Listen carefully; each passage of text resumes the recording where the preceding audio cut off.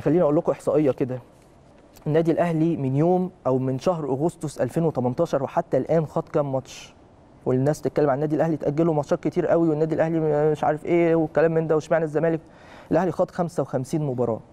من يوم أو من بداية شهر أغسطس لحد دلوقتي. يعني من بداية الموعد بداية بطولة الدوري في شهر أغسطس لحد دلوقتي بما يتخللهم آه، بطولة دوري أبطال أفريقيا بطولتين مش بطولة واحدة. بطولتين خد 55 مباراة. وفي نفس الوقت في بعض المباريات اللي كان ممكن النادي الأهلي يتمسك بتأجيلها. زي هديكم مثل إحنا بنتكلم بمثل مش هنقول أي كلام وخلاص يعني. الأهلي لعب سيمبا التنزاني في ال- الجولة الثالثه من دور المجموعات في بطولة دوري أبطال أفريقيا. كسبنا 5-0 وطلب تأجيل مباراة حرس الحدود اللي ما بين مباراة سيمبا التنزاني الأولى ومباراه سيمبا التنزاني الثانية اللي راحها النادي الأهلي بعديها اللي كانت ما بينهم أسبوع بالظبط لعب حرس الحدود والأهلي كان ساعتها إيه طلب التأجيل بسبب ظروف الطيران. واتلعبت مباراة حرس الحدود والاهلي كسب وبعد كده رحت لعبت سيمبا التنزاني هناك والأهلي آه، خسر. طيب مباراة سان داونز. خسرت هناك بنتيجة كبيرة تمام؟ ممكن الأهلي كان يطلب إن هو يأجل مباراة مصر المقاصه اللي كانت ما بين المباراة دي والمباراه دي اللي ما بينهم أسبوع بالظبط.